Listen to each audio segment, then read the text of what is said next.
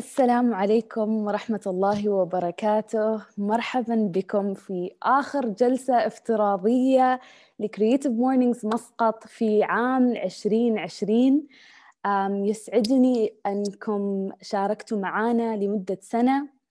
في كثير منكم هنا شاركوا معنا أكثر من مرة إذا ما كل شهر تقريبا يعني على الأقل نص الجلسات كنتوا معنا ونحن نقدركم كثيرا. آه بالذات شخصين المتواجدين اليوم معانا دائما دائما يحضروا. آه أنتم ما تعرفوني أنا بقول وأنا بس قررت إني أقول.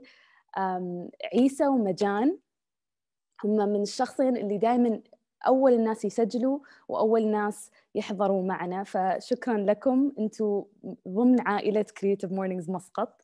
آه وشكرا لأن دائما تشجعونا. من غيركم ما كنا بنقدر نستمر. آه وأيضا في ناس ثانيين حضروا معنا سابقا آه وصراحه إحنا مستعدين نبدأ السنة الجديدة ونقدم لكم أشياء جديدة وإن شاء الله حتى الناس اللي حاضرين معنا أول مرة أنتم الآن ضمن المجتمع وإن شاء الله بتستمروا معنا في السنة القادمة. قبل ما نبدأ بس أريد أوضح إنه بيكون معنا اليوم مترجمين اثنين لغة إشارة وهم منار ويحيى منار النيري ويحيى البراشتي إذا محتاجين إلى لغة الإشارة ممكن تروحوا عند أما منار أو يحيى تضغطوا على الثلاث نقاط و... وتسووا لهم بين فيديو على على أساس يكونوا معكم خلال الجلسة. أم... نحن عندنا اليوم كثير من الوجوه الرائعة اللي ما نقدر نشوفها فأطلب منكم لي يعني اللي يقدر اللي قادر إنه يفتح ويشغل الكاميرا عشان نقدر نتفاعل معكم وتشاركوا معنا طاقاتكم الإيجابية الصباحية آه ويكون ال ال البرنامج والفعالية آه يعني شيء نتشارك به. آه ثاني شيء إذا ما قدرتوا تفتحوا الكاميرا لا تنسوا تتفاعلوا معنا بطريقتين. الطريقة الأولى تكتبوا أي شيء في الشات نحن بنراقب الشات خلال الجلسة إذا عندكم أي سؤال أو مقاطعة أو استفسار أو أو إضافة للبرنامج اكتبوها في الشات. آه وأيضا آه ممكن تضغطوا على آه مربع raise hand اللي بتحصلوها في ال participants تضغطوا على participants المشاركين. بتشوفوا رمز الإيد. ممكن تضغطوا على هذا الرمز. ونعطيكم الفرصة تفتحوا الميكروفون وتتحدثوا على راحتكم. دائما نبدأ اللي يعرفنا نبدأ بنشاط كسر الجليد. وهذا النشاط سويناه قبل بس بنعيده هذه المرة. واسم النشاط raise your hand if أو ارفع يدك إذا. إذا السؤال ينطبق عليك ممكن تضغط على raise hand اللي تو شرحته في ال participants وبعد ما تضغط عليه بعد بسألكم إنه تضغطوا عليه مرة ثانية lower hand. بسألكم سؤال وإذا ينطبق عليكم اضغطوا عليه وبعدين ننزل إن شاء الله. السؤال الأول.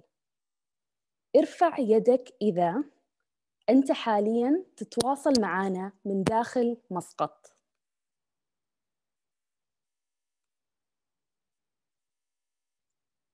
بس اثنين بس اثنين أوكي لا في زيادة. ثلاثة فقط؟ ما شاء الله. زين. uh, lower your hand اللي من مسقط. um, raise your hand أو ارفع يدك إذا أنت الآن تتواصل معنا من خارج مسقط.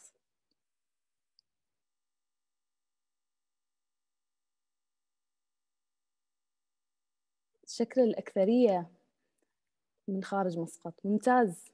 بس أنتم من ضمن مجتمع Creative Mornings مسقط. حتى لو ما موجودين في مسقط أنتم ضمن المجتمع. نشكركم. okay. Lower your hand. ارفع يدك إذا حضرت فعالية Creative Mornings مسقط سابقا. إذا هذه ما أول فعالية حضرتها. yes مجتمعنا الرائع. شكرا جزيلا. okay lower hand.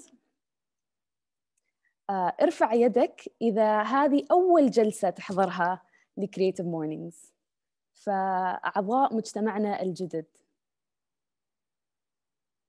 مرحبا بكم مرحبا بكم. ارفع يدك إذا تعلمت شيء جديد في عام 2020 قد تكون مهارة أو لغة جديدة أو كورس أو حتى شفت فيلم وثائقي تعلمت شيء معلومة جديدة أي شيء يعني ممكن أشياء بسيطة. أتمنى أن الجميع استفاد وتعلم شيء جديد آه، من هذا السنة. أوكي. Lower hand شكرا. um, ارفع يدك إذا أنت متحمس لبدء عام جديد عام 2021 أعتقد الجميع متحمس يبدأ عام جديد. شكرا شكرا. okay ممكن تنزلوا. Lower your hand. الحين خلاص تعرفوا تستخدموا كل شيء في Zoom أنتم خبراء في Zoom الحين. نشكر آه، الرعاة وشركائنا العالميين اللي دعموا Creative Mornings حول العالم.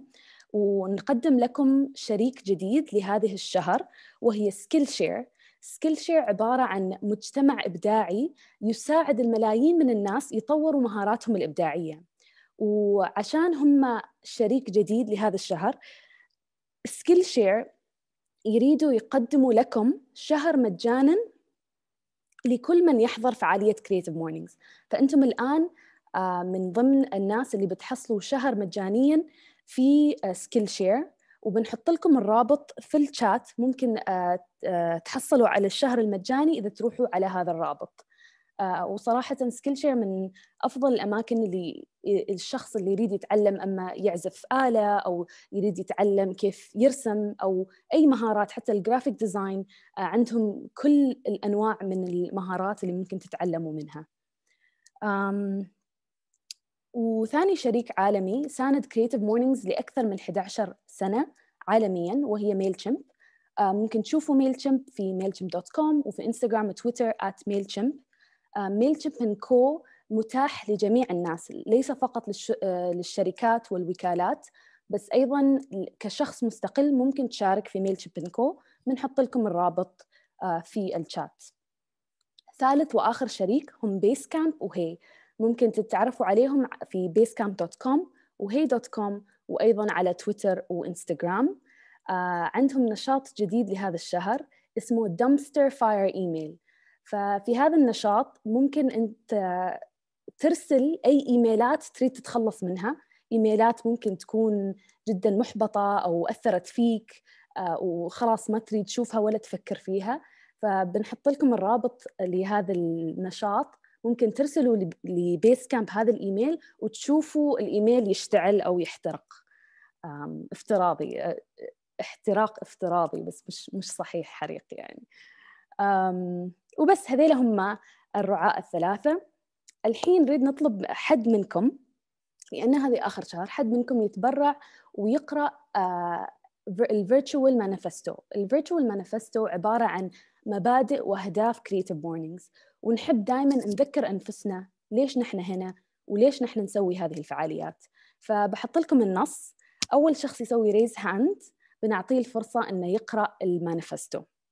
آه، النص بسيط وجدا جميل فزين نسمع أصواتكم. فأنصح في هذا ال... فأي حد يسوي raise hand ممكن نعطيه الفرصة إنه يتكلم. خذوا راحتكم عادي بنتظركم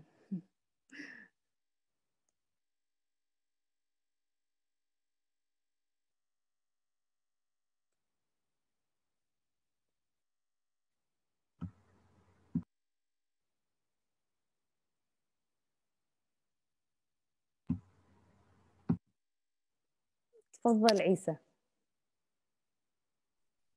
السلام عليكم. عليكم السلام مرحبا بك. الجميع مبدع. آه، تتطلب الحياة الإبداعية الشجاعة الصدق والعمل الجاد. نحن هنا لتقديم الدعم لك والاحتفال معك وتشجيعك على عمل الأشياء التي تحبها. نحن نؤمن بقوة المجتمع. نحن نؤمن بالتواصل المباشر والتعلم من الآخرين. نجمع بين الأشخاص الذين تحركهم العاطفة والغرض واثقون من أنهم سوف يلهمون بعضهم البعض وإلهام التغيير في الأحياء والمدن في جميع أنحاء العالم. الجميع مرحب به صفقوا لعيسى. نشوف your clapping hands. شكرا شكرا ما قصرت. الآن ننتقل إلى موضوعنا لهذا الشهر. موضوعنا لهذا الشهر صراحة نحن أول ما سمعناه ما عرفنا إيش معنى هذه الكلمة. فالحين أريدكم بس تتخيلوا آه هذه الأشياء. تقدير الكائنات الحية. تواصل مع الطبيعة. استدعاء العالم الخارجي إلى الداخل. يشير مصطلح بايوفيليا إلى فكرة جميلة.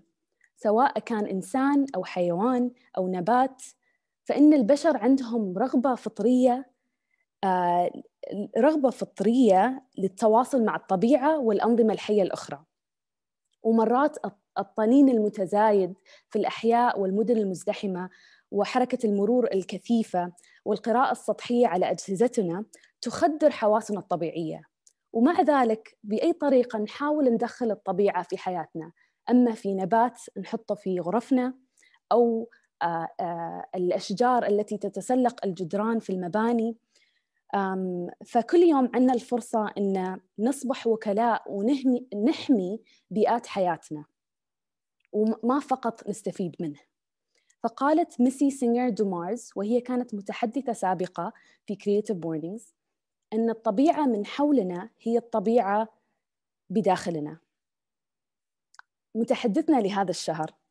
بدأ يعمل في المجال البيئي في عام 2007 ويحمل شهادة بكالوريوس في تخصص الأحياء البيئية ويعمل حاليا في القطاع الخاص في مجال البيئة والتنوع الأحيائي. وهو عضو مجلس إدارة لجنة سجلات طيور عمان ومستشار متخصص لدى مشروع Lifeline Earth التطوعي. يمتلك خبرة ما يقاب ما يقابل 13 سنة في مجال دراسة وأبحاث صون الحياة البرية في عمان. ما أريد أعطيكم كل المعلومات بخليه هو يتكلم عن نفسه. فرحبوا معي متحدثنا لهذا الشهر وهو وحيد الفزاري.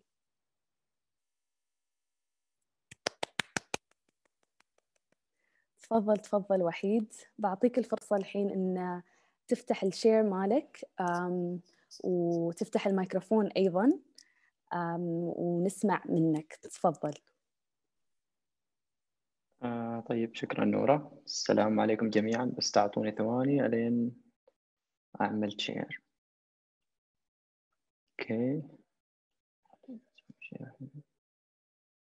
آه المفروض إنه يبين لكم الحين. أوكي. آه دقيقة بس. okay. آه يبين ال notes ولا يبين slide كامل؟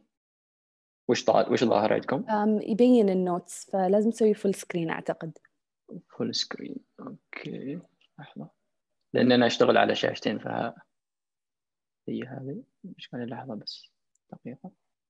okay خذ راحتك عادي take time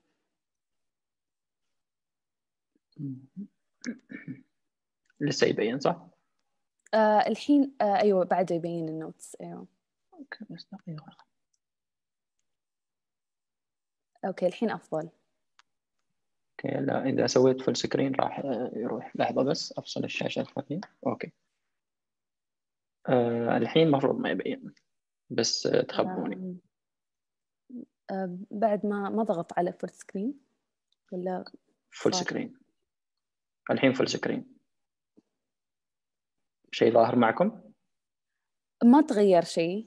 آه بس يمكن عشان فصل يمكن تحاول تسوي share مرة ثانية يعني سكر ال share و... لحظة أيوه. أيوه share. okay خلينا نسوي share مع ال sound. Presentation أوكي.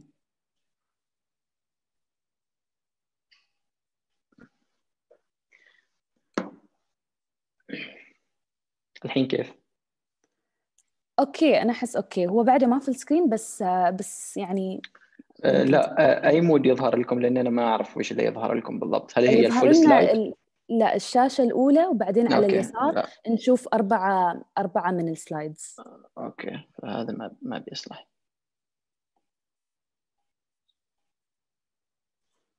okay لحظة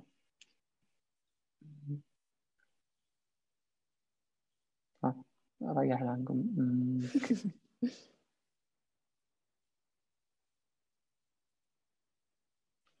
نفس المسألة صح؟ الحين نشوف نص على اليسار ونشوف ال slide الأولي okay. في, ألو... في الوسط.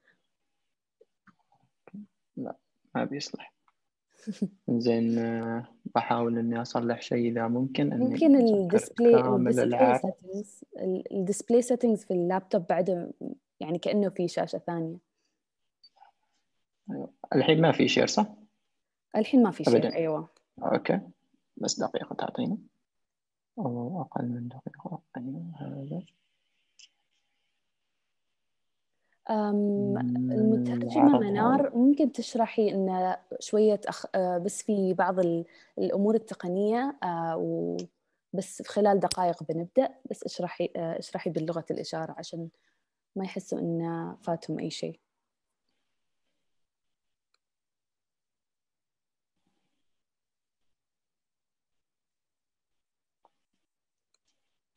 أحاول إني أبدأ من أول وجديد في في العرض كامل. Don't آه،. في اقتراح ممكن آه، تسكر presenter view إذا إذا عندك Mac أو آه، أول ما تفتح PowerPoint تضغط على أيوة. PowerPoint فوق. في preferences. تروح preferences بعدين في output و sharing وفي شيء اسمه slide show slide show أيوه uh, uncheck always start presenter view with two displays. آه آه، طلع التشيك إذا مكتوب start presenter view with two displays. okay. ال check. أيوه. okay شكراً أعتقد إن المفروض شكرا على المساعدة. فأتوقع إن الحين راح يصير. okay share computer sound الحين أسوي share screen. أسوي full screen. Sorry. أيوه لحظة بس.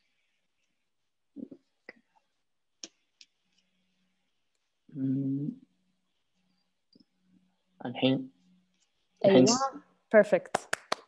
أوكي. Teamwork. خلاص اذا شكرا جزيلا على المساعدة. تفضل ف... وحيد okay. شكرا. آه، السلام عليكم ورحمة الله. سكرت طبعا الشاشة الثانية و sorry على المشاكل الفنية هذه. فكنت أنا كاتب بعض ال notes فأريد أمشي عليهن. كنت بالتفصيل فالحين عاد أنتم حظكم.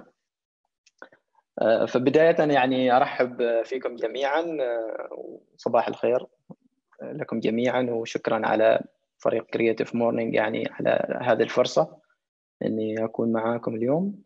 والصراحة أول ما تواصلوا معي وخبروني بخصوص الموضوع وموضوع هذا الشهر شوية أنا يعني تفاجأت من الاستخدام بهذه الطريقة يعني نوعا ما أن استخدام كلمة حب الطبيعة ال biophilia بهذه الطريقة ما تعودت أن أسمعها كذا من قبل وشوية كنت متردد في الموضوع إني هل أنا الشخص المناسب إني أنا أعطيكم هذا. يعني هذا الشعور أو ال feeling أو ها أوصل لكم هذه الرسالة أو موضوع أسوي fulfillment حل موضوع الشهر هذا ولكن إن شاء الله نكون قادرين إنه يوصل لكم ولو القليل يعني على العموم يعني إن الكلام اللي بيكون اليوم موجود أو أو العرض اللي بيكون اليوم موجود بتشوفوه ما بالضرورة ابدا إنه يكون يعني يعني perfect أو مدهش للجميع. طبعا كلنا هني نؤمن باختلاف مهما كان هذا الاختلاف.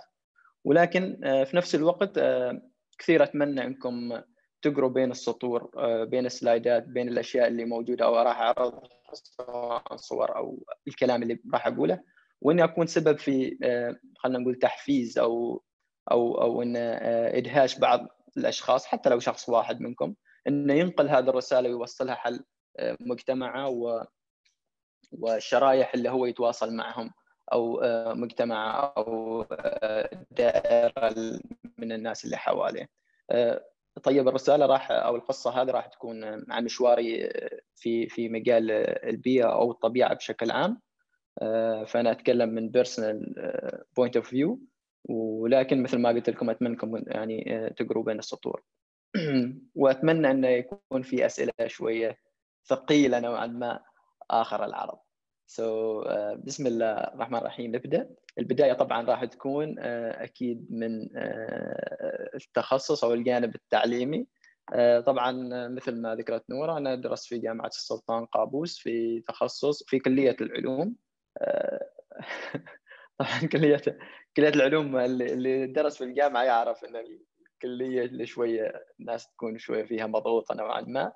ولكن يعني رغم أن كنت أحب الطبيعة وأحب النباتات والحيوانات بحكم يعني الولاية اللي إحنا ساكنين فيها وبحكم حتى السلطنة ما أتوقع أن أي حد يعني سكن في السلطنة أو انولد في السلطنة ما بيحب الطبيعة أو ما في أي ارتباط ما بينه وبين الطبيعة. لكني ابدا ما توقعت صراحة أني في يوم من الأيام راح يكون هذا مجال عملي أو مجال اللي أنا تخصصت فيه. آه، طبعا كانت الرغبة آه، شيء مختلف تماما وما خياري الأول ابدا الطبيعة ممكن إنها صدفة لكن في نفس الوقت آه، يعني كانت باب خير لي مستقبلا يعني طبعا لما رضيت في الواقع إنه خلاص this is هذا تخصصك اللي راح يكون. آه، بعد تردد طويل طبعا ومنها إني I dropped the university لكني خلاص كملت فيها. آه، قلت يا وحيد آه، هي ذي المقولة اللي أنا ماشي فيها يعني من من أيام التخصص إلى الحين.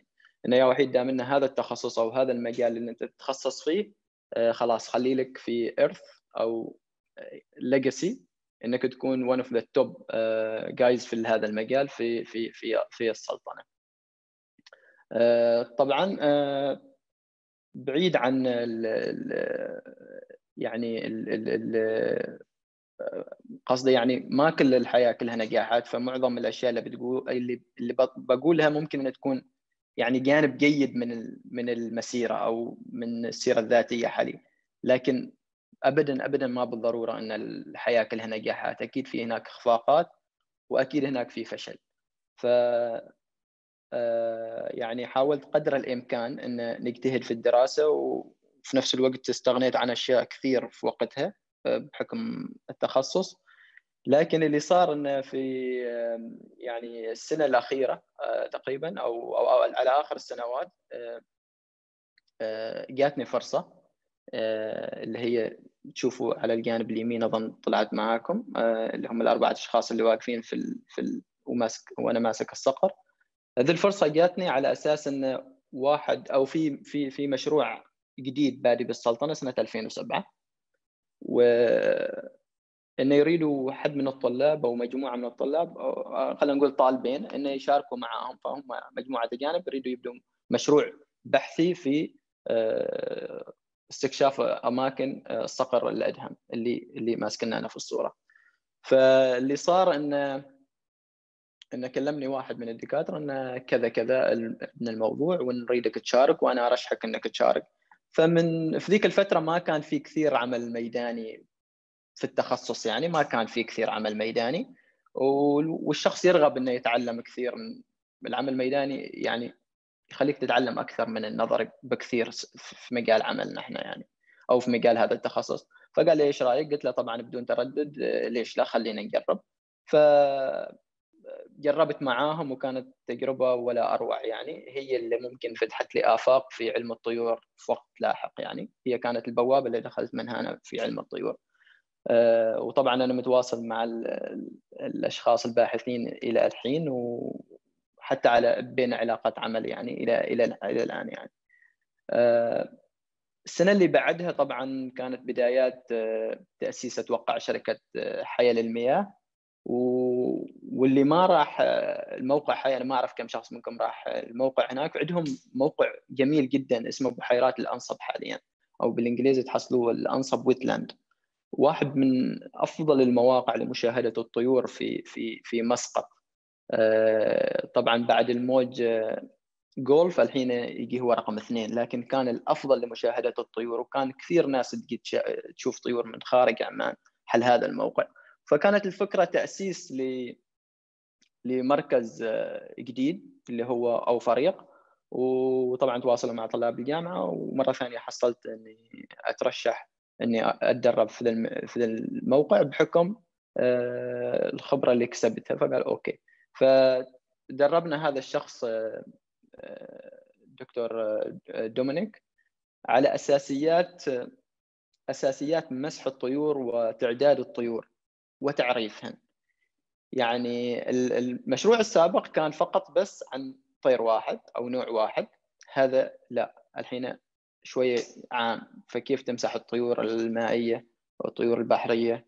كيف تعرفهم؟ species species أو نوع نوع. آه، بهذه الطريقة. الصراحة تعلمت كثير منهم والأشخاص بعض الفريق طبعا آه، موجودين إلى اليوم معاهم. أنا ما أعرف إذا ال browser يطلع آه، الأخت منال موجودة الحين وهي مسؤولة عن البحيرات هذه بشكل عام. فإذا أنصحكم كثير صراحة أنكم تزوروا هذا الموقع وتتواصلوا مع حياة. أتوقع حتى الزيارة من موقع شركة حياة. أنكم ممكن تسجلوا زيارات. طبعا ما أعرف إذا في كوفيد فاتحين أو لا لكن آه، وقت الشتاء من أنسب الأوقات إنهم تزوروا هذا الموقع. آه، في السنة الأخيرة آه، طبعا من بعد ما شفت إيش اللي صار في السنة الأخيرة يعني تفتحت شوية تفتح عقلي شوية أكثر وحبيت للمجال حبيت مجال الطيور حبيت مجال البحث العلمي ف يعني قلت أنا أريد أسوي مشروع تخرج في الطيور آه، شوية من بعد بحث واستفسارات آه، قلت أنا خليني أسوي مشروع بحثي في محمية الديمانيات اللي تشوفوها.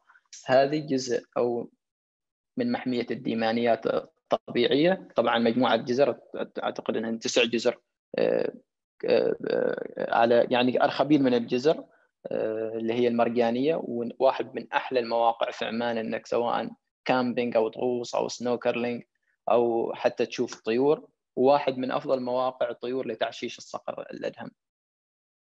آه، طبعا كانت في بعض الصعوبات وقت التخرج آه، أو sorry وقت مشروع التخرج ولكني أصريت إني أنا أريد أخذ هذا البحث اللي كان في مجموعة من آه، الزيارات الميدانية اللي مم لأنك أصلا أنت اخترت الطيور الطيور المائية والبحرية ف فوقت التكاثر مالها راح يكون في الصيف فأنت إجازتك الصيفية خلاص رايحة يعني فمو تقضيها هنا يعني رايح مع مراقبين المحمية وراجع طول فترة الصيف عشان تجمع الداتا اللي تريدها عشان تجمع المعلومات لمشروع التخرج. والحمد لله رب العالمين يعني كان دعم كبير من بعض الدكاترة والبروفيسور فيكتور ما قصر معاي. ويعني في النهاية حصلت يعني ال grade اللي أريده من التخ... من المشروع حصلت على الدرجة النهائية وكان موضوع جيد. وطبعا بعد سنتين نشرناه في ورقة علمية محكمة وهذا كانت من أفضل الأشياء إني يعني undergrad وينشر ورقة علمية كانت واحدة من أفضل الأشياء اللي صارت لي. كانت أعتقد أول ورقة علمية آه، نشرتها. 2011 آه، طبعا تخرجت. 2011 كانت آه، اللي يعرف عنها كان شوية فترة صعبة في عمان وخصوصا للشباب الخريجين. فكنت يعني حاولت إني أوكي ماشي ماشي وظيفة ثابتة فحاولت من آه، بعض الوظائف اللي هي مؤقتة آه، ان أشغل وقتي وفي نفس الوقت تطوعت في نفس المشروع اللي هو مشروع الصقر الأدهم وفي مشاريع ثانية بس لإني أقضي وقتي وأتعلم آه، أحاول يعني املى وقت الفراغ وكذا ويعني أنت تطلع من الجامعة بآمال شوية يعني يعني هاي هوبس إنك ممكن إنك تسوي حاجة كثير لكن صدمة 2011 كانت قوية جدا على معظم الشباب وعلي أنا بالذات على وجه الخصوص. ولكن في نهاية النفق دائما يعني هناك ضوء معين أو أمل. فكانت على نهاية 2011 الحمد لله رب العالمين آه، توفقت في آه، الوظيفة اللي أريدها. طبعا خلال وقت 2011 هذه بعض المشاريع اللي اللي تطوعت فيهن. سواء مسوحات ميدانية أو أو أو يعني في مناطق مختلفة ما بين مصيرة وأدم ومسقط العمرات. 2011 آه، آخر 2011 طبعا حصلت وظيفة اللي هي في مجال التخصص الوظيفة بيرفكت. بالنسبة لي كانت جدا ممتازة آه، في مكتب حفظ البيئة بديوان البلاط السلطاني ما أتوقع أي مشكلة إني أقول المكان وطبعا نشكرهم. على جهودهم اللي يسووها وإمكانكم تتابعوا حساباتهم في الفترة الأخيرة اكتف في موضوع التوعية البيئية طبعا.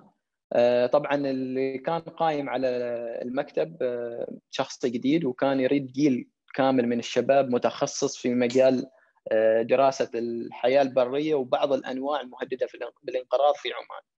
فكنت الحمد لله واحد منهم على أساس إني شبه متخصص في الطيور فيريد واحد يمسك هذه المشاريع مشاريع الطيور اللي موجودة في المكتب مشاريع بحثية طبعا. الأهداف إن بغض النظر عن حماية وصون الحياة البرية بعد في أهداف بحثية وفي أهداف إنك raising ال awareness اللي هي ترفع وعي الناس بعدة طرق طبعا ما ما ضروري نتكلم عنها يمكن أنتم أكثر علما منها فيها يعني آه آه طبعا وين وصلنا؟ أوكي هذه الوظيفة طبعا المهمة الأولى طبعا من بعد ما خلصت آه، المرة الثالثة أو الرابعة الصقر الأدهم لأن في موسم واحد ما مستمر طول السنة بس عشان أوضح لما أقول ال season بيكون تقريبا من شهر ثمانية إلى شهر عشرة هو شغلنا يكون في الصقر الأدهم. فمن بعد ما خلصت من الصقر الأدهم استدعاني طبعا مسؤول في المكتب وقال لي وحيد إن نحن عندنا مشروع جديد تعاون مع منظمة بريطانية وفيها المنظمة هذه تسوي بعثات استكشافية لأشخاص اللي هم عندهم جابير اللي هم طالعين من الثانوية ويريدوا يتخصصوا بس بعدهم يريدوا يستكشفوا شوية الحياة ويعرفوا إيش اللي موجود فيسووا لهم اكسبيديشنز في مناطق مختلفة من العالم منها عمان. ف إيش اللي موجود فيها هذه؟ اللي في عمان فيها آه، جزء كبير علمي عن الحياة البرية والطبيعة والبيئة في عمان وفيها طبعا اللي هي آه، ورشات مختلفة ثانية آه، ما كنت متدخل فيها فقال لي يا وحيد أنا أريدك تقود الفريق العماني وأريدك تشيل معك سواء موظفين أو آه، متدربين من الجامعة أنت تختارهم فجمعت الفريق آه، طبعا وسويت إعلان كذا بسيط عن طريق أعتقد الجامعة وشلينا معنا طلاب خذينا معنا طلاب جامعيين. أعتقد عددهم أربعة إذا ما غلطان. آه، المهمة بتكون في منطقتين الربع الخالي ومنطقة منطقة في الظفار ما بين رخيوت وظلكوت واحدة من أفضل المواقع في عمان اللي الإنسان ما مسها للحين. طبيعية وتعتبر من الغابات الموسمية بسبب كثافة الأشجار اللي فيها. آه، المهمة طبعا لمدة شهرين متاليات عمل ميداني شهرين متاليات بالنسبة لي كان تحدي شوية لكن كان يعني تجربة حلوة تعلمت منها وايد. فطبعا تشوف الصور بالنسبة لنا كان أول مرة ندخل الربع الخالي فكان في صعوبات مختلفة منها إن إحنا ما نعرف المنطقة أصلا. آه، يعني آه، أنت المنطقة اللي مختارينها تقريبا 20 أو 30 كيلو عن الحدود مع السعودية. فكثير داخل الربع الخالي ما شوية يعني. ففي تعلمنا طبعا منها كثير منها في مثل ما قلت لكم في مسوحات. يمكن حد يسأل أوكي وش هناك موجود في الربع الخالي؟ لا في موجود في حياة في طيور مهاجرة في بعض في قطط برية حتى في غزلان وفي نباتات فسوينا عليهم بعض المسوحات يعني آه، المبدئية. مثل ما قلت لكم الحملة الاستكشافية فيها مسارات مختلفة طبعا. فيها جانب علمي واللي هو بكاميرات فخية وكذا وفيها تنمية ذات آه، التنمية الذاتية اللي هي نقدر نقول soft skills وكذا. وطبعا فيها أهداف شخصية لكل المشاركين اللي هم دايرين الحملة هم اللي يقوموا فيها يعني.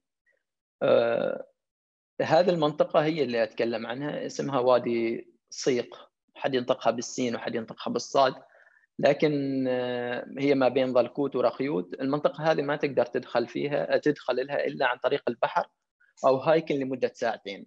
هايكن جبلي شوية صعب. آه، فما في رود حلها عشان كذا آه، يعني طبعا هذه الجهة بس عشان أقول لكم هذه الجهة هنا تقريبا 20 أو 30 كيلو بتكون رخيوت وهالجانب اللي من نصور فيه ظلكوت هذه المنطقة لو بحثتوا عنها بتحصلوا وايد كثير معلومات عنها. مختلفة طبعا. سواء في علم الإنسان اللي مو... الناس اللي موجودين كانوا أو نقدر نقول بعض الحضارات اللي موجودة أو من ناحية ال... الحيوانات. آه، طبعا آه، الفريق العماني آه، معظمهم رجعوا قبل ما نروح وادي صيق وبقيت أنا بروحي مع الفريق البريطاني آه، شهر كامل في هذه المنطقة. آه، طبعا صح صعب كوميونيكيشن ماشيه اتصالات ماشيه يعني محدودة مش ماشيه لكن محدودة جدا. لكن واحد من يعني أفضل الأوقات اللي قضيتها. صح بعيد عن الجميع لكن واحد من أفضل الأوقات يعني حتى لعائلتي شوية. يعني غيبوني ذيك الفترة نقدر نقول شهر وين هذا ما غريب يعني إنه ما حد طبعا من بعدها هذه بعض الأشياء اللي ممكن كاميراتنا صادتها. أنا هنا متفقين مع الشباب إني أنا أسألكم سؤال أو أسئلة للمشاركين. فاللي يقدر يعرف لنا بعض الحيوانات اللي موجودة هذيلة في الصورة الحين قدامكم يشغل المايك ويعطينا. ترى بيعطوكم هدية أتوقع تواصلوا مع نورة بتعطيكم هدية. Creative مورجن Mornings بتعطيكم هدية. النمر العربي. أوكي صح. والله. هذه الصورة ما واضح فيها ترى اللي اللي على اليمين تحت. اللي على اليمين تحت اللي... وين؟ ما أشوف شيء. وراي العسل لا صح. آه ما شاء الله. والوشق. والوشق. والوشق صح. ممتاز. ممتاز جدا. زين هنا. شوية نزيد الصعوبة شوية. هذا الضبع ده. ضبع المخطط ماشي قنفذ. ما قنفذ ذاك؟ لا. هذا الشيهم شيهم أيوه. تقريبا يشبه القنفذ لكن اللي تجي آه، الأشواك ماله طويلة جدا. فأي حيوان يهاجمه الشوكة هذه تضربه ويفقدها وخلاص لكن يعني ك protection mechanism أوكي بقى اثنين ترى. صعبت المهمه أنت وحيد. حد كتب شوية صعبات حد كتب في الشات تيمون؟ آه، تقريبا صح هو من عائلة تيمون بس ما تيمون بالضبط.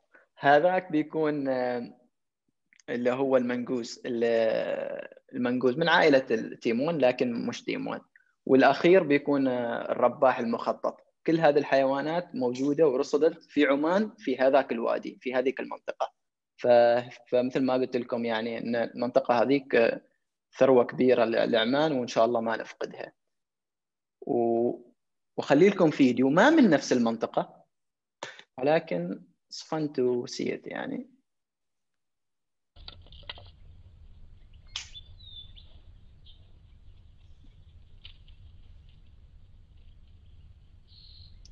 هذا النمر العربي طبعا وهو موجود منتشر في آه، جبال ظفار من سمحان إلى جبل آه، القمر.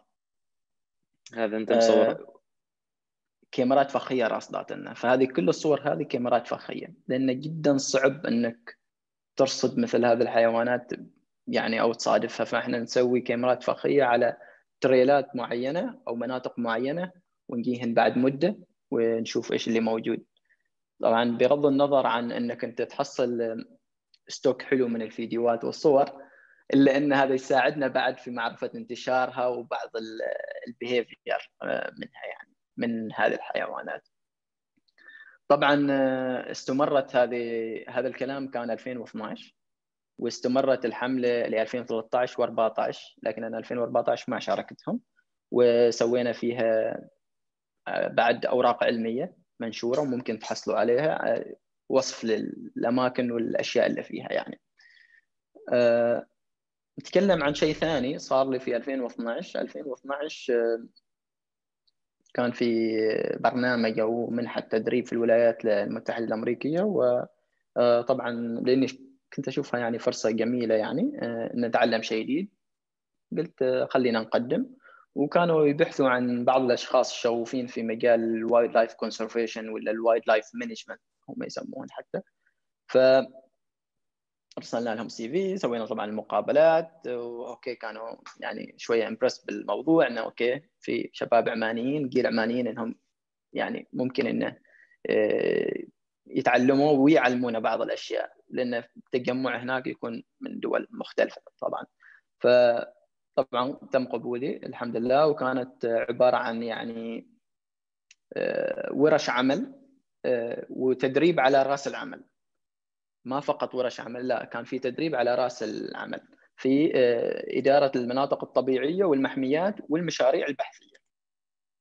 فأنا خلوني أو عينوني طبعا وزعوا الناس كلهم كل حد في صوب من أمريكا. أمريكا كبيرة طبعا. فخلوني أنا في ولاية مينيسوتا في في Voyageurs Voyageurs National Park. على الحدود مع كندا. طبعا كان فترة صيف لكن بالنسبة حاليا كان شتاء كثير يعني بارد بارد. فاشتغلت في المحمية مع فرق مختلفة طبعا سواء باحثين إداريين ومختصين كثير هم عندهم سياحة بيئيه كثيره كثير فكنت بعض الأشياء اللي كنت مركز عليهن. ويعني بعض الصور هذه اللي موجودة في في هذا وبعض الأحيان يعني من التجارب الحلوة أنك ترصد المملز الصغيرة هذا الشبمنك فترصدهن لكن عادي يعضك وتمشي وتمشي الحياة عادي يعني لازم تتعلم. فبعض الأشياء لازم تعرف وإيش اللي موجود منها.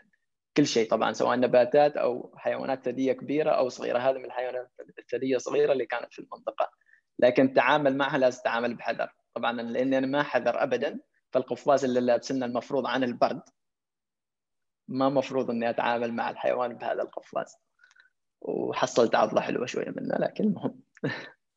وي سرفايفد واحدة من أفضل المشاريع اللي اللي اللي اشتغلت فيها الصراحة وللحين يعني إنها راسخة في ذهني هي أه مسح مشروع مسح النسر الأمريكي.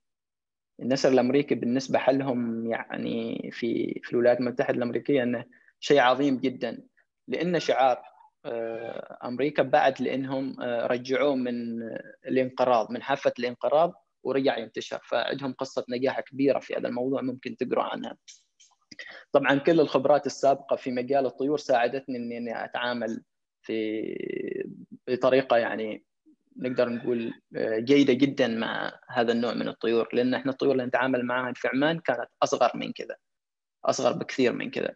فحتى لو شفت الصورة الأولى كان حجمه كبير وهذا يافع يعني صغير يعني بعد ما يطير أصلا. ويوصل يمكن تقريبا إلى ثلاثة إلى خمسة كيلو وهو ما يطير بعد لسه. المحمية طبعا اللي أنا كنت فيها والناشونال بارك اللي كنت فيها كانت عبارة عن هي حدودية لكن عبارة عن بحيرات كبيرة وواسعة. فكان جزء كبير منها إنك تكتشف ما تكتشف خلينا تدير المحمية أو تراقبها. فكانوا لازم يستخدموا القوارب والطيارات اللي هي على الماي الطيارات اللي تهبط على الماي هذه اللي راكبينها وكان هذا كبير الطيارين ستيف. فكنا اسبوعيا نأخذ جولة على بعض المناطق عشان نمسح بعض المناطق سواء من حيوانات أو من أي شيء ثاني ملاحظات على هذه. طبعا آخر يوم فاجئوني الشباب بحفلة يعني وداعية جميلة ويعني متواصل إلى اليوم مع مجموعة كبيرة منهم. رجعت أنا ودعتهم ورجعت واشنطن وزارة الداخلية الأمريكية وقدمت عرض عن عمان وعن التدريب. كانوا شوية يعني يعني منعجبين معجبين يعني بالكواليتي اللي عمان الشباب العمانيين قدموه.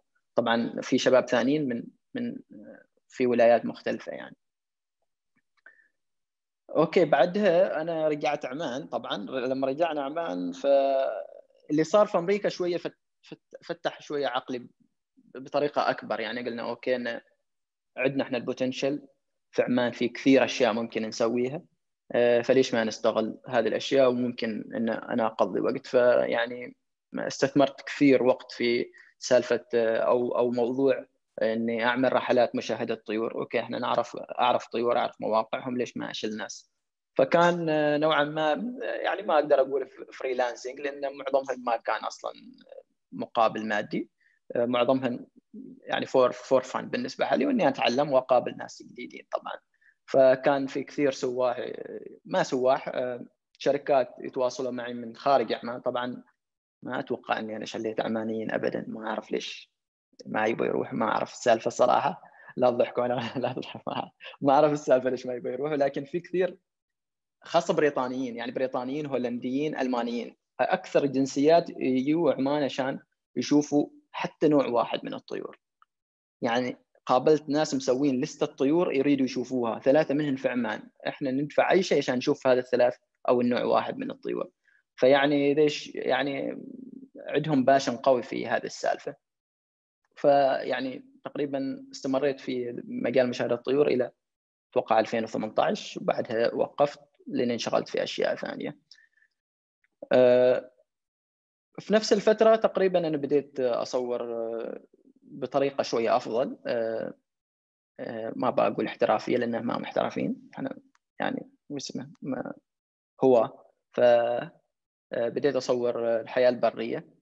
وأدخل عالم التصوير طبعا ونجرب ونشوف. ودخلت الجمعية فتعرفت على أصدقاء يعني شباب كثير مصورين. وطبعا بحكم الشغل والميول إلى الطبيعة والبيئة فكان آه، تخصصت نوعا ما يعني آه، أو استثمرت في في مجال تصوير الحياة البرية. هذا بعض الصور اللي من مناطق مختلفة من عمان. آه، فمثل ما كنت أقول لكم قبل إن إذا بتقرب شيء وتتخصص فيه لازم يعني تتقنه. تتقنه وتبدع فيه. فأنت تحاول توصل هذه المرحلة من من التخصص. طبعا هذه بعض الأشياء اللي موجودة عندنا بعد في عمان. ف أوكي هذه بعد نفس الشيء صور مختلفة من عمان. آه، طبعا استثمرت مثل ما قلت لكم وقت كثير في آه، هذا الموضوع. آه، إلى جي 2016 2016 طبعا أنا بس من النوع من الأشخاص اللي يعملوا وش ليست إني في حياتي إيش أريد أسوي. بس نقاط بدون تحديد تاريخ. عشان كذا بدون تحديد تاريخ فما تعرف متى بتسويهن فممكن تسويهن ممكن يطوفن عليك. فواحده من أفضل الأشياء اللي كنت يعني جدا مهتم إني أسويها إني أروح سفاري في أفريقيا. لأنك لما تدخل يعني عالم الحيوان وكذا والطبيعة يعني على طول إنك تفكر أنت في أفريقيا على طول. فحصلت فرصة آه، إني أروح سفاري في محمية سرنجيتي في تنزانيا واحدة من أفضل وأشهر المحميات سوق سرنجيتي. هذا بعض الصور. طبعا أنا رايح سفاري تصوير فتقريبا كنا نكون 12 آه، ساعة في اليوم تصوير. يعني من الصباح إلى الليل تصوير ما, ما نرجع. وصح إنه متعب يعني ومرهق لكن إحنا مستمتعين. فظلينا تقريبا لمدة سبعة إلى تسعة أيام تقريبا هناك. هذه بعض الصور بعد. آه، كان شيء يعني خيالي ورهيب جدا بالنسبة لي آه، طبعا مثل ما قلت لكم إن آه، هذه المسيرة توجت بعض الفوز في بعض يعني المسابقات منها مسابقة معرض السنوي لجماعه التصوير الضوئي آه، ومنها المركز الأول في مهرجان إكسبوجر في الشارقة وفي أشياء ثانية منها الجائزه الأول 100 آه، مصور عربي آه، فهذا في مجال التصوير. أنا ما ما أريد إني أتكلم وايد عن التصوير اليوم نركز على البيئة. فنرجع نخلي التصوير على صوب ونرجع للطيور والحياة البرية. طبعا مثل ما قلت لكم منها من 2000 تقريبا و18 استثمرت وقت كثير في آه، القراءة والاطلاع بشكل كبير جدا. ونفس الشيء أول ما تجي أي فرصة على طول أنا أتطوع فيها في مجال تصوير آه، في مجال آه، البيئة. ف بالتواصل يعني من نتوركينج مع أشخاص كثيرين ومنظمات ثانية إن في منظمة يعني كلمونا انه ممكن انه نريد نسوي آه، ورشة عمل آه، للمجتمع طبعا بمختلف فئات سواء موظفين غير مهتمين مصورين هم آه، فعملنا لهم ورشة كيف كيف يعرفوا الطيور كيف يحسبوا الطيور كيف يسووا مسوحات. يعني رصد للطيور. وشاركت بعض الفعاليات اللي هي مثلا في بعض الوزارات أو المؤسسات الحكومية إني أشرح للناس الثانيين سواء أطفال أو غيرهم. آه. أوكي. آه، تكلمنا اظني قالت نورة تكلمت أو ذكرت لجنة سجلات طيور عمان. طبعا دي اللجنة هي لجنة يعني تطوعية ولكن آه، صحيح إنها تطوعية ومش رسمية لكن هي الأساس اللي ممكن أنت تاخذ منه الرقم الطيور اللي مرصود في عمان. ما حد ممكن يعطيك update غير هذه اللجنة. فاللجنة بدأت شغلها تقريبا 2000 و... آه sorry آه في السبعينات آه بدأت اللجنة فبدا تسجيل سواء historical records ال records القديمة سجلوهن فعملوا database ضخمة جدا. يعني database ال entries اللي فيها ضخمه ضخمة جدا. آه، طبعا معتمدة على شيء اسمه citizen science اللي هو الناس اللي تراقب الطيور وتسجلهن ترسلهن لشخص معين ونحن كلجنة أو board members وش نسوي؟ نمر عليهن نسوي لهم verification ونسجلهن لأنه ممكن يصير أخطاء وإذا صار إنه ممكن إن حد مسجل نوع جديد من الطيور نفس اللي صار آخر طير في 2019 نرسل حلنا وأنا تكلمت عنه حتى في تويتر آه، نرسل حلنا شيكنا عليه إنه okay ممكن ما ممكن إذا في justification أو إثباتات صور أو غيره إن نقبله ويسجل في اللسته فحاليا عدد الطيور المسجلة في عمان 531 آه، نوع من الطيور المختلفة سواء مهاجرة أو موجودة. طبعا 2013 آه، دعتني اللجنة اللي هي الرئيس مالهم كان ينز إريكسون. وبلغني إنه أوكي. طبعا لأنك أنت أصلا مجتهد طول الفترة الماضية فالناس يعني تشوف اجتهادك وتقدره. فتواصل معي إنه يا وحيد إحنا نريدك معانا على أساس تكون أول عماني آه، في هذه طبعا كلهم أجانب. فكنت أول عماني وأصغر عماني معاهم. آه، فكان صراحة تجربة حلوة إني أشوف طريقة عمل اللجنة. بالنسبة لي كان شيء عجيب جدا. إنه كيف هذا الطيور كيف إحنا نحصل هذه الأرقام؟ إيش نسوي؟ إيش ال process؟ فبالنسبة لي تجربة جدا ممتازة وإنك أصلا تكون network مع تقريبا معظم اللي يشوفوا الطيور آه، من خارج عمان فيتواصلوا معك بطريقة أو أو أخرى يعني. طبعا في 2015 آه، آه، بدينا في كأساس عمل يعني في العمل في مكتب حفظ البيئه بدينا نختم كل كل شغل الصقر الأدهم ومشروع الصقر الأدهم قلنا خلاص نختمه في آه، فيلم. فسوينا آه، دراسة عن الفيلم وصورنا الفيلم وممكن تحصلوه. ما أعرف إذا ظاهر عندكم أنتم ال link لكن ممكن تشاهدوه الحين for free عادي عن طريق ال link هذا. فأنا بس خليت لكم هذا المشهد. الواقعة في عرض بحر عمان. تشعر النوارس السخامية بالارتباك من ضيف الجزيرة المهاجر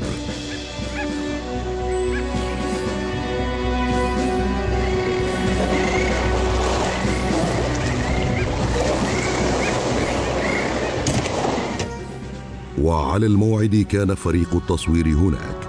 يراقب بعناية وشغف كبيرين مرحلة تفقيس البيوض وبدء حياة جديدة لصغار الصقر الادهم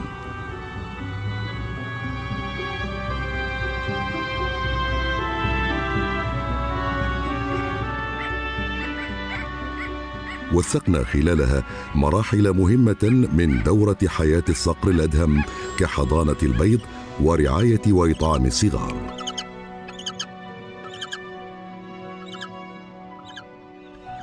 بفضل التقنيات المتقدمة لكاميرات التصوير المستخدمة كان لنا السبق في طبعا هذا جزء من من الفيلم ممكن تشوفوه مثل ما قلت لكم أنصحكم تشوفوه الصراحه لأنه جميل جدا. الشغل هذا كان تصوير الفيلم مخض علينا تقريبا سنة ونص وكان في ثلاث دول مختلفة. اللي هي عمان أثيوبيا ومدغشقر بحكم إن الصقر الأدهم آه، مهاجر يعني. فعشان كذا كانت عندنا زيارة لمدغشقر. آه، الصور هذه من وادي الباوباب في شمال غرب مدغشقر. 2014 رحنا نسوي معاهم مسوحات مشتركة و2016 رحنا نصور معاهم جزء من الفيلم واحدة من أروع التجارب آه، بس ما وقت نتكلم عنها اليوم. okay. 2016 نهاية 2016 تقريبا آه، آه، حصلت ترقية من من إني أكون باحث إلى إني أرأس فريق كبير كلهم باحثين. ففي مشاريع مختلفة. مسؤوليه يعني المسؤوليات كانت أكبر وكلهم فريق جامعيين يعني كل الفريق جامعيين وناس professional فعلى طول خلينا الخطط إن نبدأ شيء جديد. البداية كانت يعني نسوي برنامج آه، توعية للمدارس مخصص للمدارس في مجال البيئة والطبيعة ويصير لنا ظهور في مواقع التواصل الاجتماعي. طبعا ذيك الفترة هو اللي وصلنا فيها طلعنا المكتب في برامج التواصل الاجتماعي. سوينا برنامج ثالث ثاني مختلف لتدريب الطلاب الجامعيين يكون سنوي في فترات مختلفة أو مواقع مختلفة. فكان يجون عاد أعداد كبيرة والمشاريع البحثية كانت متنوعة. طبعا تحت اشرافي كانت يعني متنوعة. كان الوعي العربي والغزال العربي والوعي النوبي والطيور.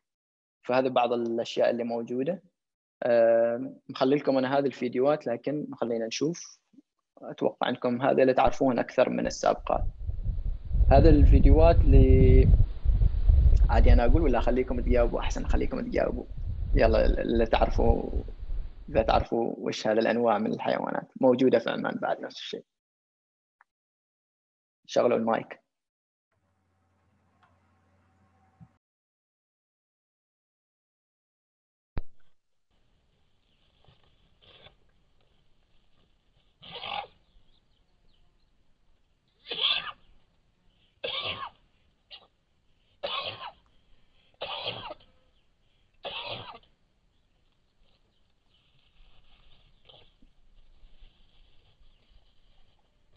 ماشي اجابات أعطيكم الإجابة.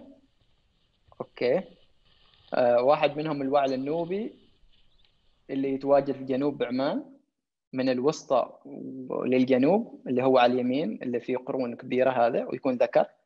والثاني الوعل العربي اللي في شمال عمان في جبال الحجر. okay في 2018 آه، رشحت نفسي عضوية آه، جمعية آه، البيئة العمانية عضو مجلس إدارة و...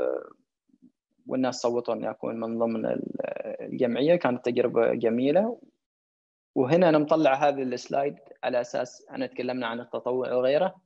جمعية البيئة العمانية واحد من أفضل المنصات إنك تتطوع أو تشارك في آه، يعني الأشياء اللي تخص البيئة أو حتى المشاريع اللي تخص البيئة.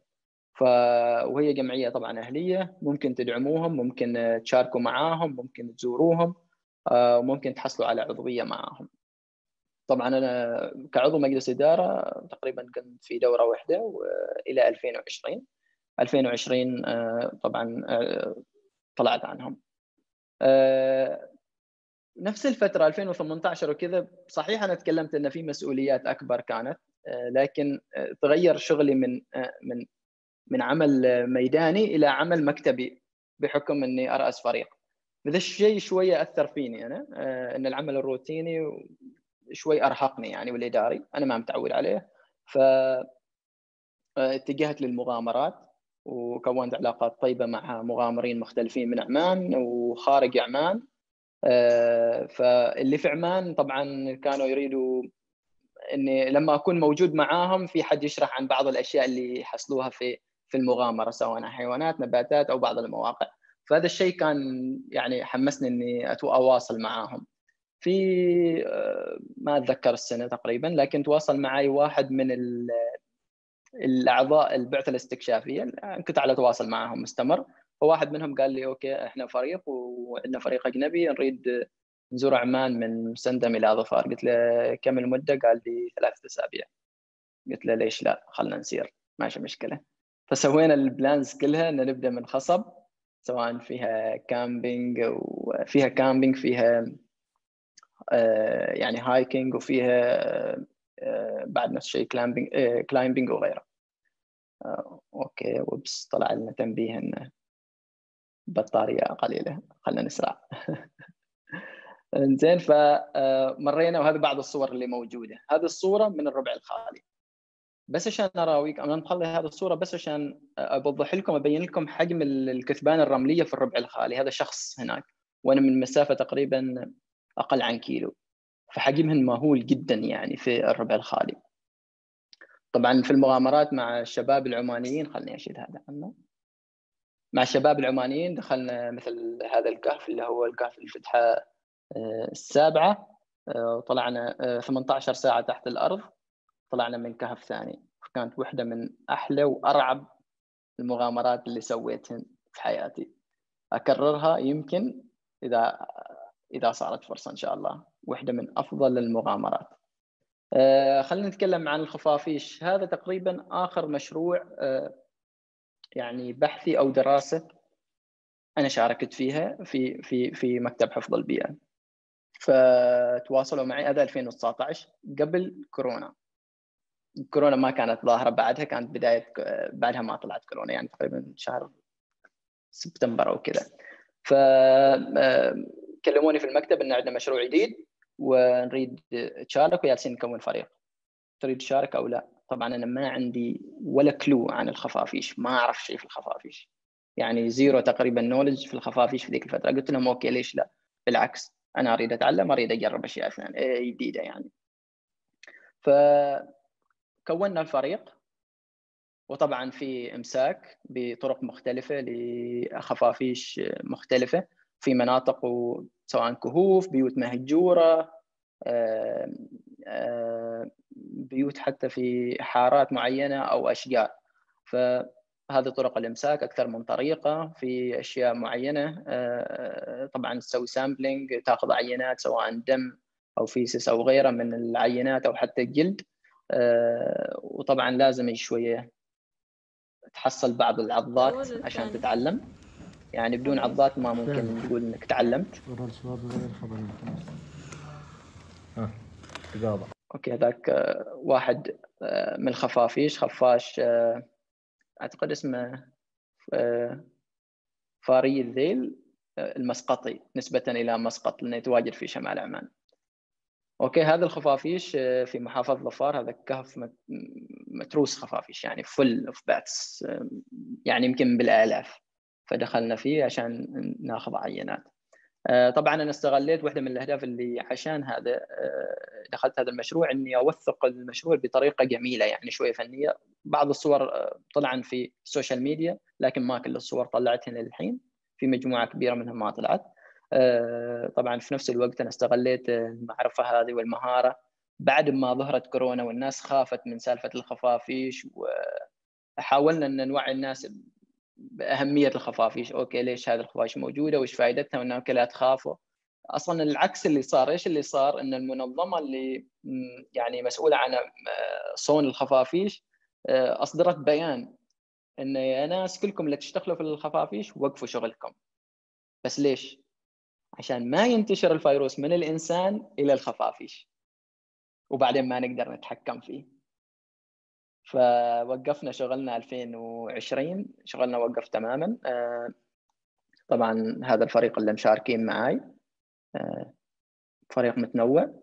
وتقريبا آه، يعني على آخر يعني آخر شيء في في صيف 2020 انعرضت علي وظيفة في في في مجال البيئة لكن في القطاع الخاص بقياده أو إشراف على مشروع متعلق بالتنوع الأحيائي. طبعا نبدأ هنا إن إن نسوي biodiversity offsetting بمعنى إن نعوض بيئيا عن عن مشاريع التنموية ايا كانت.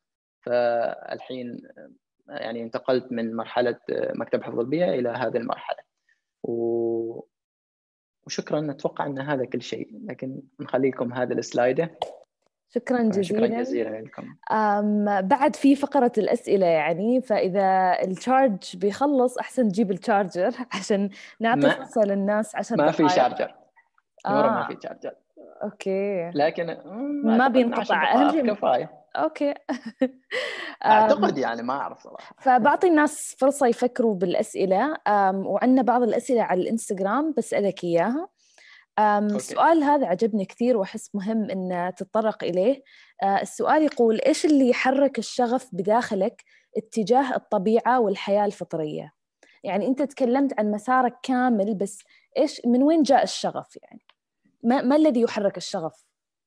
شوفي هو بصراحة بالضبط أنا ما أقدر أجاوب على هذا السؤال بالضبط يعني لكن آه، أتوقع أنك بس وجودك في عمان وإنك فرصة أنك تكون قريب من الحياة هذه الحياة الطبيعيه أو الحياة البرية أو الحيوانات وفي نفس الوقت فرصة أنك تكون آه، تبدع في ذا المجال إنه okay أنت خلاص آه، عندك ال knowledge وعندك ال skills فممكن أنك تبدع فيه وتوصل لمرحلة متقدمة جدا في هذا الشيء. أتوقع هذا الدافع الرئيسي اللي خلاني. وفي فترات لاحقة من من من من من السيرة الذاتية أو أو المسار قلت المعرفة اللي عندي أنا دائما أقول إن زكاة العلم نشرها دائما أكررها. فا أوكي أنا بإمكاني وعندي القدرة إني أوصل هذه المعلومات أو هذا العلم بطريقة جميلة محترمة بسيطة للمجتمع كامل. فتنشر الرسالة بطريقة يعني نوعا ما بسيطة وسهلة لكنها مقبولة وواضحة جدا للمجتمع. فحاليا يعني أنا صح إني أشتغل full-time job لكن كثير من وقتي يعني أجاوب على تساؤلات ناس معينين سواء على ال social media أو على ال emails وسواء جامعيين من داخل عمان أو برا عمان. وما عندي أي مشكلة إني أجاوب بالعكس أنا أفرح كثير لما أجاوب على تساؤلاتهم وأحس إن هذا هذا هو هو زكاة العلم اللي أنا تعلمته يعني. ممتاز. عندنا سؤال من محمد الحبسي. آه، من خلال بحثك عن الحياة الطبيعية هل حسيت في تواصل وتلاحم بين الحياة البشرية والحياة الطبيعية؟ آه، في عمان سابقا أيوه أيوه آه، أعتقد صحيح إن مصطلح ال sustainability أو الاستدامة جديد لكن حتى أهالينا السابقين أو الناس اللي قبلنا كانت حياتهم آه، بطريقة مستدامة سواء بالتعامل مع الحياة الطبيعية بكل مكوناتها النباتات، الحيوانات آه، أي حاجة بطريقة مستدامة فكان connection قوي أو تواصل قوي مع طبيعتهم وما نلومهم هذا اللي موجود في بيئتهم. واللي بيدل على ذا الكلام إن في كل بيئة في مسميات محلية و specific على أنواع معينة من ال من سواء طيور أو نباتات أو غيرها. وفي مناطق ثانية ما تحصل هذه. يعني لو قلت لهم ليش هم اختاروا هذه المسميات specific هذه؟ أو حتى في مراحل معينة من من عمر النبتة أو الحيوان لأنهم أصلا متواصلين بطريقة قوية جدا جدا يعني ارتباط قوي مع هذه الأشياء. بدون الارتباط ما ممكن انه يوصلوا انه تكون جزء من الكلتشر مالهم وثقافتهم ما ممكن يعني. آه سؤال من عبد الرحمن. وش أكثر حيوان مقرب لوحيد الفزاري ويحب يكون معاه دائما أظن واضح من السلايدات. تربطني علاقة حلوة عبد الرحمن مع مع الصقر الأدهم لاني فعلا قضيت معظم حياتي العملية في في دراسة الصقر الأدهم. يعني نتكلم إحنا من 2007 إلى 2015 ف يعني جزء كبير من حياتي العملية في المشروع وبشكل سنوي ففوكس كبير عليه. فممكن هو بالنسبة لي الحيوان رقم واحد في عمان. آه، رغم إن الحين يعني إيش من الصقر يعني اللي إيش إيش هي ليش يجذبك يعني هذا هذا الحيوان بالذات؟ لأن تقريبا أول حيوان بري مسكته بإيدي. طبعا بغض النظر عن طفولتك لكن أنا أتكلم في الحياة العملية. أتوقع إنه هو أول حيوان أنا مسكته بإيدي و يعني وأعتقد ذيك الصورة كانت أول صورة اللي ظهرتها. كان أول أول species يعني أول فرد من من الصقور أنا مسكته. وبعدها طبعا صار إني أنا يعني أكثر تعمقت في الموضوع ودربت ناس آخرين وكذا وكذا. آه، في سؤال من أسماء بعض الحيوانات مهددة بالانقراض في السلطنة فما هو دور مركز الإكثار في مكتب حفظ البيئة للحفاظ على هذه الأنواع النادرة من الانقراض؟ أه، أعتقد مكتب حفظ البيئة يمكن خلينا نجاوب ماشي مشكلة صح إني ما معهم الحين لكن أعرف الموضوع هذا مكتب حفظ البيئة عنده مركز إكثار واحد في في في في محمية الكائنات الحية والفطرية بالوسطى والأصل المركز متخصص في الحيوانات البرية آه، العمانية المهددة بالانقراض. يعني نتكلم specifically عن المها العربيه الغزال العربي والغزال آه، الرملي أو غزال الريم هذه الثلاث ال species اللي ال focus عليهم. وطبعا في صار إطلاق انه يكاثروهن ويطلقوهن آه، لزيادة الأعداد وغيره طبعا في management كبيرة plan لإنك كيف تعتني بالحيوانات في ال enclosures هذه أو في مركز الإكثار. لأن أنا حتى ما يعني لا الوقت يسعفنا ولا أنا مطلع على كامل ال details مالها. في سؤال من ابتسام. بنظرك هل خفف كورونا من غضب الطبيعة؟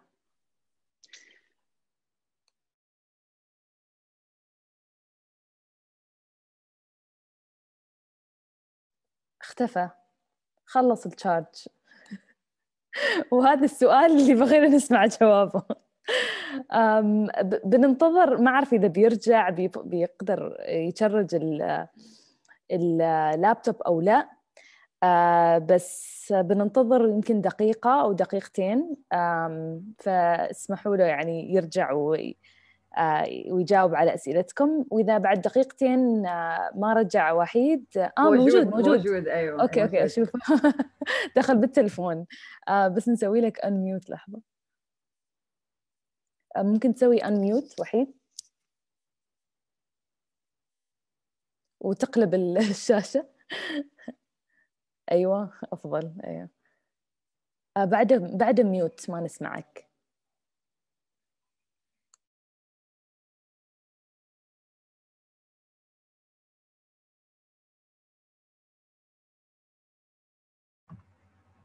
نور can you try and unmute him please الحين ما يصير في زوم إن أسوي unmute حل شخص لازم كل شخص أقدر أطلب منه انه يسوي unmute بس ما أقدر أفتح الميكروفون ماله. هذا update جديد في زوم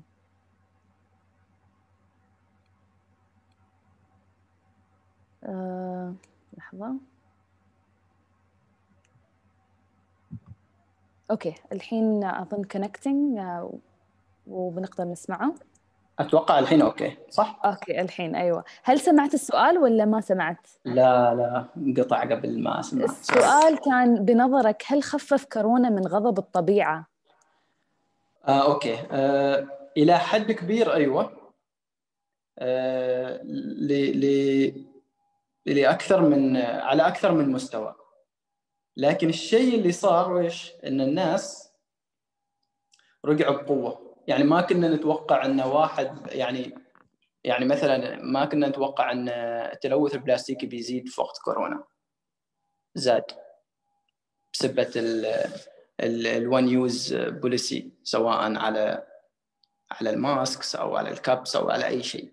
فاللي صار إنه زادت بكثير بكثير بكثير كثير يعني زادت. أقصد إن التلوث. في البدايات كان أيوه صحيح كان الناس في حظر في كذا ال emissions نقصان الطبيعه بدأت ترجع الحيوانات شفنا أكيد شفتوا فيديوهات وصور على حيوانات roaming في في المدن وغيرها لكن لما رجعنا وفتحنا مرة ثانية أتوقع أن يعني رجعنا بطريقة سلبية ما كنا نتوقعها وما كان حد حاسب لها حساب ابدا. آخر سؤال من عبد الرحمن أيضا كيف نحن كأشخاص في مجالات مختلفة ممكن نساهم ولو بشيء بسيط في مجال حفظ البيئة وحب الطبيعة.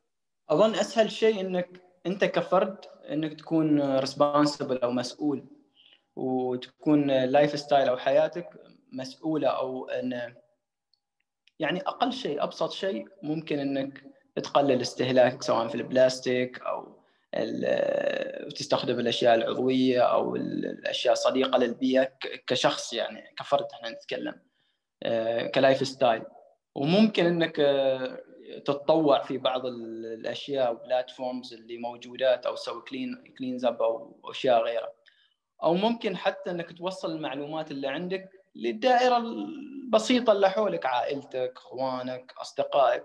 ابدا ما مطلوب إنك تطلع يعني على مستوى كبير. التغيير يبدأ من نفسنا يعني سواء على على على في في حفاظنا على البيئة أو غيره التغيير دائما يبدأ من نفسنا والدائره اللي حوالينا. شكرا جزيلا وحيد. صراحة ألهمتنا وشفنا أشياء أنا ما كنت أعرف أنها موجودة في عمان. فنشكرك على هذه الجلسة الجميلة. وشكرا جميعا لمن حضر معنا اليوم أو في الجلسات السابقة. أعرف في أشخاص ثانيين بعد كانوا مستمرين معنا من بداية السنة. فشكرا لكم.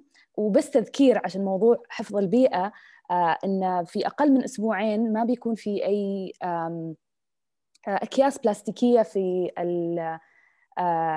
المحلات. فجهزوا أنفسكم من تو حتى اليوم شوفوا إيش الأكياس اللي آه اللي غير مضرة للبيئة ممكن تستخدموها. خلوها في سيارتكم. لما تريد تروح السوبر ماركت تكونوا جاهزين مستعدين بدون أكياس بلاستيكية. آه وكانت صراحة جلسة جميلة وسنة جميلة. شكرا للجميع. آه إن شاء الله تكون آه إجازة سعيدة وبداية بداية حلوة للإجازة إجازة نهاية الأسبوع. ونلتقي السنة الجاية بإذن الله. شكرا. مع السلامة.